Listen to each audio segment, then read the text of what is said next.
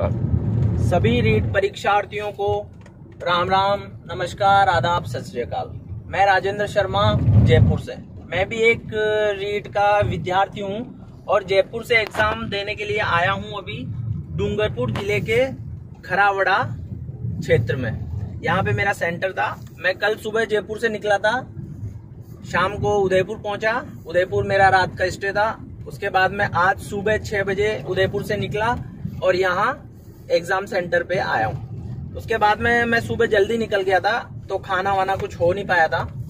तो सोचा कि खाने की क्या व्यवस्था होगी, लेकिन जैसे ही मैं सेंटर पे पहुँचा, एग्ज़ाम दे के बाहर आया तो ये जो यहाँ के विधायक साहब है, चौरासी विधायक राजकुमार रोध रोध साहब, आपका बहुत बहुत धन्यवाद कि आपने इतना स्वच्छ खाना, इतना टेस्टी खाना सभी रीट परीक्षार्थियों के लिए अवेलेबल कराया। उसका मैं आपको दिल से धन्यवाद देता हूँ।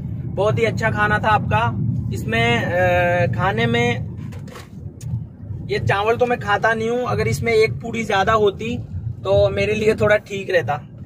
बाकी आलू की जो सब्ज़ी थी, उसमें हल्का सा नमक कम था। अगर थोड़ा सा नमक और होता तो मज़ा आ जाता। बाकी आपका जो खाना था, वो बहुत ही टेस्टी था, लाजवाब था। उसके लिए मैं आपको दिल से धन्यवाद देता हूँ।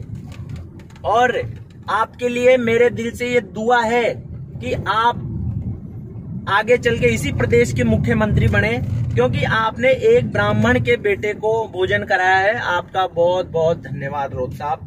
रोज साहब, अभी तो मैं जयपुर के लिए निकल रहा हूँ, लेकिन नेक्स्ट टाइम मेरा वादा है, मैं जब भी आऊँगा रोज साहब आपसे मिल के जाऊँगा, ज़रूर मिलके जाऊँगा। बहुत बहुत धन्यवाद रोज साहब आपका। जय माता जी